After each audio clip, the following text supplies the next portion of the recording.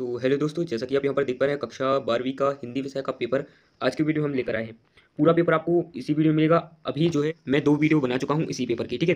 बिल्कुल real paper की दो वीडियो बना चुका हूँ, जिसमें हमने प्रश्न क्रमांक एक से लेकर प्रश्न क्रमांक पंद्रह तक सभी प्रश्नों को देख लिए थे और उनके उत्तर भी देख लिए थे। इस वीडियो में हम प्रश्न क्रमांक सोलह से लेकर जो है, प्रश्न क्रमांक तेईस तक आपके सभी प्रश्नों के उत्तर को देखने वाले हैं, ठीक है? प्रश्न क्रमांक सोलह से प्रश्न क्रमांक तेईस तक सभी प्रश्नों के उत्तर इस वीडियो में हम आपको दिखाने वाले हैं। तो वीडियो को आपको लास्ट तक देखना है, सभी प्रश्नों के उत्तर आपको इसी वीडियो में मिलेंगे। पूरा पेपर हम इसी वीडियो में देखेंगे।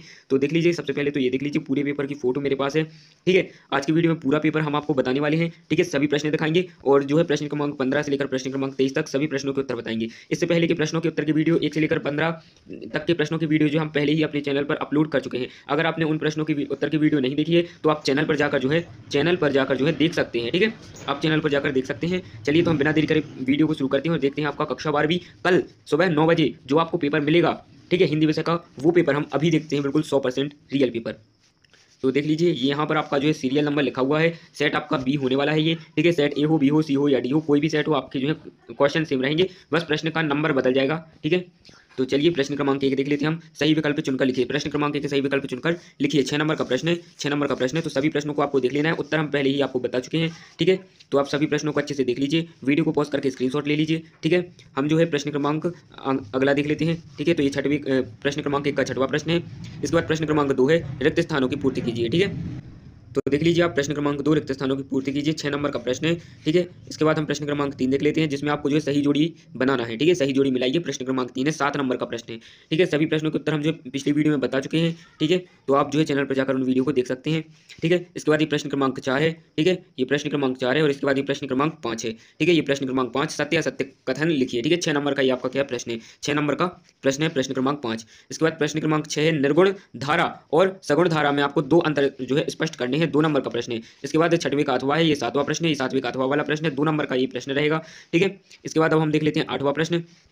तो देख लीजिए देख लीजिए दोस्तों, ये जो है आपका आठवां प्रश्न हो जाएगा, ये आठवीं प्रश्न का अथवा वाला प्रश्न हो जाएगा, ठीक है? इसके बाद ये प्रश्न क्रमांक नौ हो जाएगा, ये नौवीं का अथवा वाला हो जाएगा, ठीक है? इसके बाद प्रश्न क्रमांक दस, ठीक है? फिर दसवीं का अथवा वाला प्रश्न फिर ग्यारहवा प्रश्न ग्यारहवीं का अथवा वाला, ठीक है? सभी ये जो है दो दो नंबर के आपके प्रश्न रहेंगे, ठीक है?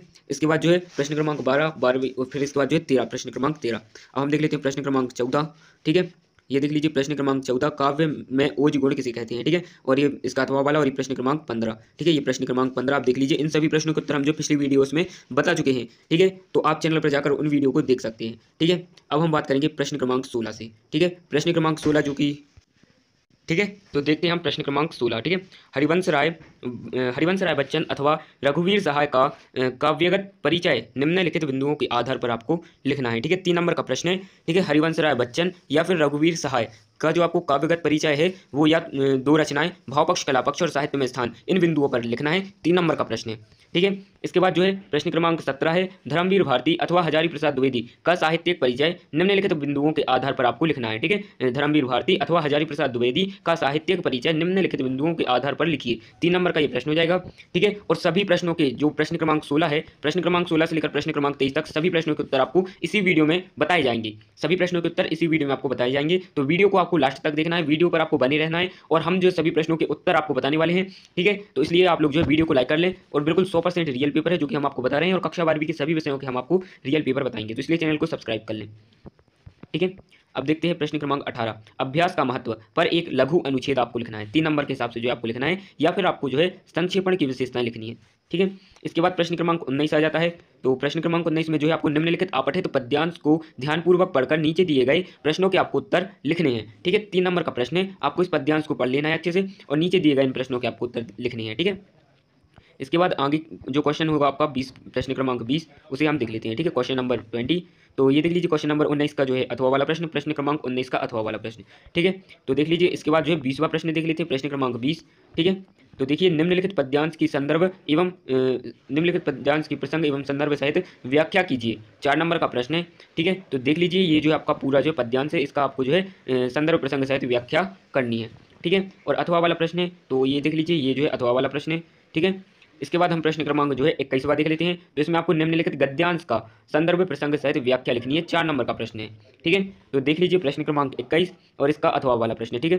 तो देख लीजिए, वीडियो को पॉज करके स्क्रीनशॉट ले लीजिए और अभी जो है हम इन सभी प्रश्नों के उत्तर बताएँगे आपको, ठीक है? तो वीडियो पर बने रहिए, ठीक है? और वीडियो को लाइक कर दें, चैनल को सब्सक्राइब कर लें, ठीक है? इसके बाद हम प्रश्न क्रमांक बाईसवा देख लेते हैं। तो देखिए दोस्तों, प्रश्न क्रमांक जो है बाईसवा, ये है अपने विद्यालय के प्राचार्य को निर्धन छात्र कोष से छात्रवृत्ति प्रदान करने हेतु एक आवेदन पत्र लिखिए, ठीक है? दो चार नंबर का प्रश्न है और अथवा वाला प्रश्न है, हाई स्कूल परीक्षा में प्रथम श्रेणी से उत्तीर्ण होने पर अपने मित्र को बधाई पत्र आपको लिखना है, ठीक है? इसके बाद जो है प्रश्न क्रमांक तेईस है, निम्नलिखित में से किसी एक विषय पर संक्षिप्त किंतु सार सारगर्भित निबंध लिखिए, ठीक है? तो इसमें आपको निबंध लिखना है, चार नंबर का प्रश्न है। इनमें से किसी एक विषय पर आपको जो है निबंध लिखना है, ठीक है? तो देख लीजिए, ये हो जाएगा आपका पूरा पेपर। अब हम देख लेते हैं सभी प्रश्नों के उत्तर। तो देखिए दोस्तों, ये हो जाएगा प्रश्न क्रमांक सोलह, ठीक है? प्रश्न क्रमांक सोलह का उत्तर हो जाएगा हरिवंश राय बच्चन, ठीक है? तो इनकी दो रचनाएँ हो जाएँगी तेराहार और मधुशाला, ठीक है? इसके बाद भाव पक्ष देखेंगे तो हरिवंश राय बच्चन की प्रारंभिक कविताओं में विशेषकर मधुशाला में अर्थ विस्तार पाता है, ठीक है? कला पक्ष में हरिवंश राय बच्चन जी का देख लीजिए आप, ये हो जाएगा कला पक्ष ठीक है? इसके बाद जो है साहित्य में स्थान तो देख लीजिए, साहित्य में ये जो है स्थान हो जाएगा, ठीक है, हरिवंश राय बच्चन जी का। अथवा वाला प्रश्न देख लेते हैं, रघु वीर सहाय, ठीक है तो इनकी ये रचनाएँ देख लीजिए, इसके बाद इनका ये जो है भाव पक्ष है, ठीक है? इसके बाद ये जो है कला पक्ष है, ठीक है? और इसके बाद जो है ये इनका साहित्य में स्थान है, ठीक है? तो ये देख लीजिए साहित्य में स्थान, इसके बाद प्रश्न क्रमांक सत्रह आ जाता है तो धर्मवीर भारती जी की जो है रचनाएँ देख लीजिए, ठीक है? फिर इसके बाद जो है भाषा ठीक है? तो ये देख लीजिए भाषा, इसके बाद जो है ये हो जाएगी शैली, ठीक है? और इसके बाद हो जाएगा ये साहित्य में स्थान, ठीक है? तो ये हो जाएगा साहित्य में स्थान। तो आप इसका जो है स्क्रीनशॉट ले सकते हैं या फिर जो है वीडियो को पॉज करके इनको नोट कर सकते हैं, ठीक है? फिर इसके बाद जो है प्रश्न अथवा वाला है, हजारी प्रसाद द्विवेदी जी की। तो देख लीजिए यहाँ पर हजारी प्रसाद द्विवेदी जी की रचनाएँ, फिर इसके बाद इनकी भाषा, फिर उसके बाद ये इनकी जो है द्विवेदी जी की शैली, ठीक है? फिर इसके बाद जो है इनका साहित्य में स्थान, ठीक है? तो ये हो जाएगा साहित्य में स्थान।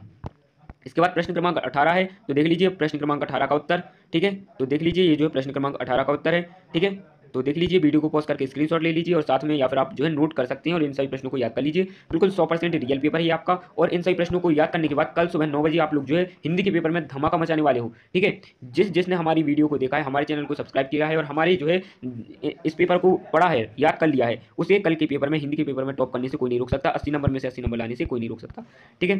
क्योंकि पूरा यही पेपर कल आपको देखने मिलेगा। बिल्कुल सेम सेम एक चेंज नहीं होगा. सेम यही पेपर आपको कल देखने को मिलेगा. ठीक है? नौ बजे, सुबह नौ बजे, कल छः फरवरी के दिन. ठीक है? तो आगे के जो है प्रश्नों के उत्तर देख लीजिए. तो देख लीजिए आगे के प्रश्न के उत्तर. ठीक है? इसके बाद जो है आप प्रश्न क्रमांक उन्नीस देख लेते हैं. तो प्रश्न क्रमांक उन्नीस का जो है उत्तर देख लीजिए. का नंबर का उत्तर हो जाएगा, फिर खा नंबर का, फिर गा नंबर का. ठीक है? फिर घा नंबर का और फिर आगे के देख लीजिए सभी प्रश्न. ठीक है? इसके बाद अथवा वाला प्रश्न देख लीजिए. तो इसके जो है सभी प्रश्नों के उत्तर ये हो जाएँगे. ठीक है? फिर इसके बाद प्रश्न क्रमांक बीस देख लेते हैं। प्रश्न क्रमांक बीस, ठीक है? तो देख लीजिए, प्रश्न क्रमांक बीस हो जाएगा। इसमें देख लीजिए संदर्भ, प्रसंग और फिर भावार्थ। तो देख लीजिए, ये हो जाएगा भावार्थ, ठीक है? तो देख लीजिए सभी को अच्छे से, ठीक है? फिर इसके बाद प्रश्न क्रमांक इक्कीस हो जाएगा। तो प्रश्न क्रमांक इक्कीस का संदर्भ, प्रसंग, ठीक है? फिर इसके बाद जो है, व्याख्या में जो है, देख लीजिए, ये हो जाएगी व्याख्या, ठीक है?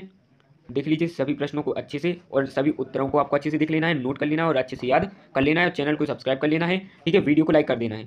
इसके बाद प्रश्न क्रमांक बाईस हो जाएगा, जिसमें आपको जो है पत्र लिखना था, ठीक है? तो देख लीजिए, ये हो जाएगा पत्र आपको इस प्रकार से लिखना है, ठीक है? फिर इसके बाद जो है, देख लीजिए, पूरा पेपर, पूरा सॉल्यूशन सभी प्रश्नों के उत्तर इसी वीडियो में आपको मिल गए हैं तो आप जो है, सभी प्रश्नों को अच्छे से याद कर लें, ठीक है? तो देख लीजिए आगे जो है आपको अथवा वाला प्रश्न देख लीजिए, प्रश्न क्रमांक जो है, बाईस का अथवा वाला प्रश्न, ठीक है? तो देख लीजिए, अथवा वाला प्रश्न, इसकी जो है उत्तर, ठीक है? जिसमें आपको जो है, एक पत्र लिखना था, ठीक है? अपने जो है, मित्र को, जिसमें जो है, वो परीक्षा में प्रथम श्रेणी से उत्तीर्ण हुआ है, ठीक है? तो देख लीजिए, इसको जो है आपको इस प्रकार से लिखना है, ठीक है? इसके बाद प्रश्न क्रमांक तेईस आ जाता है, जिसमें जो है आपको निबंध लिखना था, ठीक है? तो देख लीजिए, विद्यार्थी और अनुशासन, जो कि एक अच्छा टॉपिक है, इस पर जो है हमने आपको निबंध दिया है तो आप इस पर याद कर लें, इसका ईजी भी है और आपको जल्दी भी याद हो जाएगा, ठीक है? तो इसमें पाँच रूपरेखाएँ आपको लिखनी है, ठीक है? इसके बाद जो है सभी, सबसे पहले प्रस्तावना, फिर अनुशासन का आशय, फिर अनुशासन के आपको प्रकार लिख लेना लिख लेना है, ठीक है? देख लीजिए अच्छे से, ठीक है? फिर इसके बाद जो है अनुशासन की लाभ, ठीक है? अनुशासन के आपको लाभ लिख लेने हैं, ठीक है? फिर इसके बाद उपसंहार। तो इस प्रकार से जो है आपका आपका कक्षा बारहवीं, ठीक है? आपका कक्षा बारहवीं का ठीक है, कक्षा बारहवीं, ठीक है, कक्षा बारहवीं। विषय हिंदी का पूरा रियल पेपर हमने आपको बता दिया है और सभी प्रश्नों के क्या बता दिए उत्तर। सभी प्रश्नों के उत्तर बता दिए पूरी रात आपके पास है, पूरी रात आपके पास है। तो आपको क्या कर लेना है? इस वीडियो को डाउनलोड कर लेना है, सभी प्रश्नों को नोट कर लेना है। पूरी रात भर जाकर याद करने हैं, ठीक है? कल सुबह नौ बजे, कल सुबह नौ बजे बिल्कुल यही पेपर आपको देखने को मिलेगा। बिल्कुल सेम यही पेपर एक क्वेश्चन डिफरेंट नहीं होगा, यही पेपर आपको देखने को मिलेगा। ठीक है तो चैनल को सब्सक्राइब कर लें वीडियो को लाइक कर लें। हमारे चैनल पर आपके कक्षा बारहवीं के और भी पेपर अपलोड किए जाएँगे, बिल्कुल रियल पेपर इसलिए सब्सक्राइब कर लिए चैनल को। तो आज की वीडियो में इतना ही। चलते हैं। जय हिंद, जय भारत।